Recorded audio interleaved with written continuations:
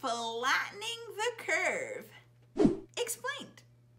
So I recorded this a long time ago before all the racism was racisming. Um, and, uh, but guess what? Corona is still out here coronaing and COVIDing.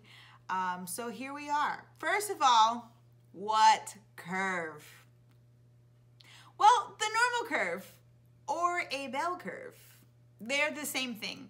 Um, but we see these a lot in statistics. Okay, so when data is normally distributed, uh, it typically creates uh, the shape that is evenly distributed and symmetrical. Okay, um, that sometimes data might not be perfectly even, um, but for the most part it will be. And um, normal distributions have the same mean, median, and mode. Uh, so that's just a fun fact. So virologists expect that the coronavirus cases will rise and reach their peak just as fast as they will fall. This prediction would display normally typically, okay? Take that loosely. So the start of the curve represents when we first discovered cases in America, and then the end of the curve is when the virus has made its way through the population, okay? Uh, this is time, and then that would be the number of cases, right? Time on your x-axis, number of cases on your y-axis. Data is not always displayed normally though, okay? Sometimes you have data that's skewed to the left.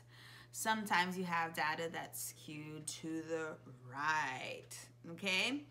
But uh, we love to see when data is normally distributed uh, because it helps us make predictions and draw conclusions pertaining to the data.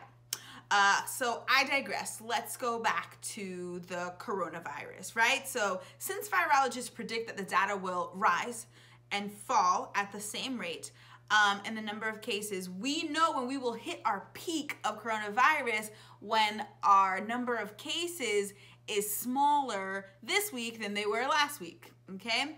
Um, and that will give us an estimate of how much longer and when all of this will finally I'm sick of wearing a mask.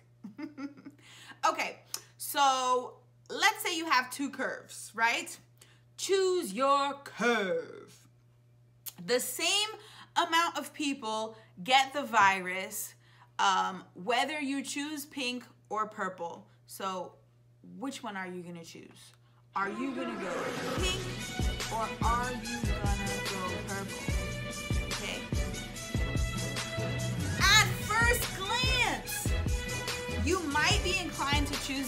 because it's gonna go through the population quicker, right?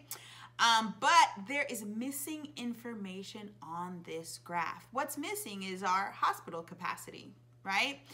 Um, so you might wanna choose that little purple, but you're like, because it's gonna go through quicker and we can stop wearing these masks. But what's what's gonna happen if we choose the purple is that the hospital capacity will reach its limit and that's really how people start to pass away right?